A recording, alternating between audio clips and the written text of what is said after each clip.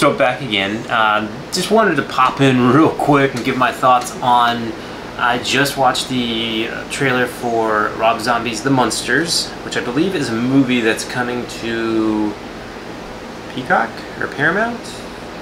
One of the one of them that's uh, streaming. So coming straight to streaming. I don't think it's coming into movie theaters, and it's being released, I believe, in September. I, know, I just watched it, but I was honestly kind of in a little bit of a state of shock watching most of it. Um, if that's a little prelude into, you know, foreshadowing of what my thoughts might be. Hmm. Something to get out there and preface pretty early on is the fact that I am not a huge Rob Zombie fan um, when it comes to movies. Uh, music, loved Rob Zombie growing up. Definitely uh, very some very very iconic songs. Uh, uh, very important part of my youth. A lot of it is Rob Zombie and Dragula and who knows what else. And unfortunately, to some extent, uh, some of his movies are part of my history as well. I just quick side story. I know um, the first movie that I'm sure most of us seen, which I think was his first movie, was House of a Thousand Corpses from Rob Zombie. I remember going to the theater to see that. I believe I was in college, and it was me and my buddy Cody, and I think it was me and Cody, maybe his wife Vanessa as well. I'm not sure if, if it was. I'm sorry, Vanessa. Uh, but I remember because we'd seen some trailers for it, and we, we were kind of, you know, like, okay, well, I mean, honestly, I think we were really excited to think back in the state of mind because, again, growing up with Rob Zombie, super excited about the music, and then, like, oh, this movie comes out, and it's just going to be like this horrible slaughterfest awesomeness, and it's, you know, going to be really cool. Um, so excited, gonna go opening night. I remember opening night, opening weekend, and I remember my brother, Jesse, um, had seen it before I did, so it must have been, we must have gone a couple days afterwards, and he said, oh, it was awesome, and it's like, that's fantastic. So we would see it, and I just remember, that I think that was the first movie that I either did walk out of, or seriously contemplated walking out of. Uh, I almost want to say I walked out of it because honestly to this day I don't remember how that one ended because um, I haven't really gone back to rewatch it which I might have to do at some point as I start thinking about doing some different ranking lists and stuff like that and I think to give things a fair shake I probably need to but uh, I just remember walking out of the theater and then immediately calling or texting Jesse I don't remember exactly what was uh, of the time and telling him that he owed me money back for going to pay to see that movie uh, so I've not been a huge Rob Zombie fan. I think that there are some things that he does really pretty well. Like the look of some of his films is awesome. I mean, when you're going for grungy, kind of grimy, slaughterhouse 70s-ish kind of stuff, yeah. You know, grindhouse movies, he does that really well. And honestly, some of the movies look really cool. And to a certain extent, I'm sure I'll talk about them at some point, but even the Halloween movies, especially the first one, uh, I do find some enjoyment in watching that one. Like I will watch that if it's on. Uh, like I've been traveling for work not that long ago, and I think uh, like the first Halloween Rob Zombie one was on TV. I mean, I don't have cable anymore here, so it's like I don't really normally stumble upon things. But I stumbled upon that one and I watched it, and it's you know it's watchable. Um, the second one eh, gets a little, a little weird. I'll have to revisit that one though. Either way, I have a relatively mixed bag, mostly bad mixed of uh, Rob Zombie films in my taste. So I've not even seen probably his last three or four movies. I don't know. I don't know.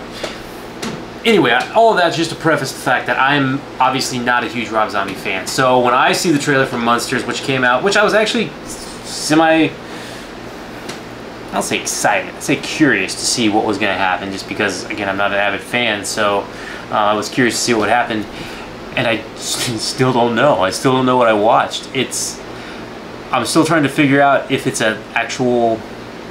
I mean, I've if it's a toss if if it's meant to be like it's filmed when the Munsters was being filmed, like with the budget the Munsters was, uh, the budget the Munsters had.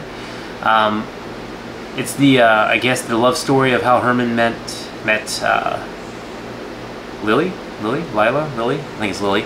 Lily um, with Grandpa in there, and uh, the Munsters is something I did grow up with, and I did enjoy watching a good bit. I don't remember a whole lot of the different storylines, but uh, I remember what they look like, and this does look very similar to that. But it, it just, it's, it, I don't know if it's meant to just be a complete spoof, and if just like, okay, if the Munsters were made nowadays, but actually nowadays still in the 60s, or I don't know when that was supposed to be, 50, 60, something like that.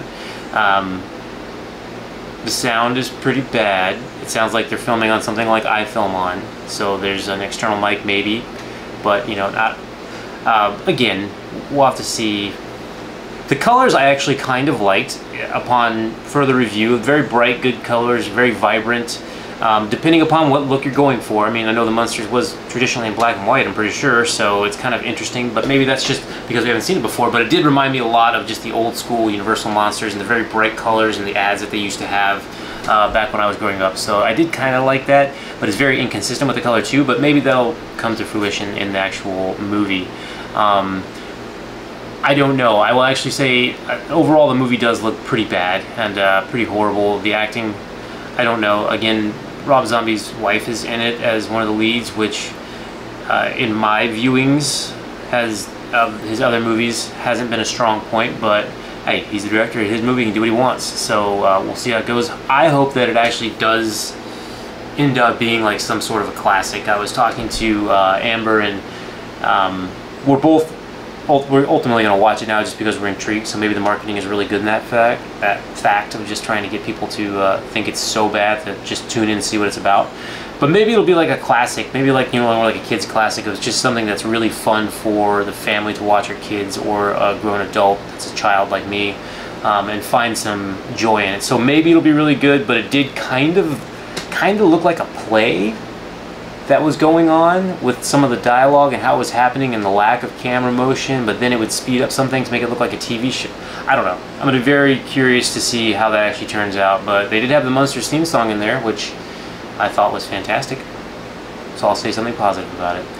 Alright, I just wanted to give you my quick thoughts on that one and a little backstory with uh, my personal views on Rob Zombie films for the most part. Um, there's definitely going to be some review lists coming up and I'm sure Rob Zombie will be one of the ones that gets talked about pretty frequently as I talk about the best of and worst of certain genres or horror topics or subgenres, if you will. Um, but I don't know. Uh, I will say, inevitably, I am going to watch it now. But it might just be more of a curiosity, so we'll see. Did you guys watch it? What did you think? Uh, let me know. Like, share, subscribe.